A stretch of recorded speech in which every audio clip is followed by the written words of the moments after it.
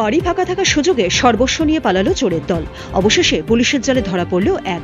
বাকিদের খোঁজ শুরু করেছে নিউ জলপাইগুড়ি থানার সাদা পোশাকের পুলিশ। পুলিশ সূত্রে জানা গিয়েছে, ফুলবাড়ি দু নম্বর অঞ্চলের জোরপাখরি এলাকার এক বাসিন্দা দোসরা জুন সপরিবার নিয়ে বাইরে ঘুরতে যান। আট তারিখ বাড়ি ফিরে দেখেন পুরো ঘর লণ্ডভণ্ড। বাড়িতে থাকা সোনার গয়না সহ দামি জিনিসপত্র নেই।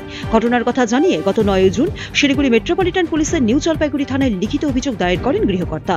তদন্তে নেমে সোনার অলঙ্কার সহ এক ব্যক্তিকে গ্রেপ্তারও করা হয়। ধৃতের নাম এম ডি সাকিল বাড়ি জোরপাখড়ি এলাকায়। সোমবার ধৃতকে জলপাইগুড়ি আদালতে পাঠিয়ে তদন্তের স্বার্থে পাঁচ দিনের রিমান্ডের আবেদন জানিয়েছে নিউ জলপাইগুড়ি থানার পুলিশ।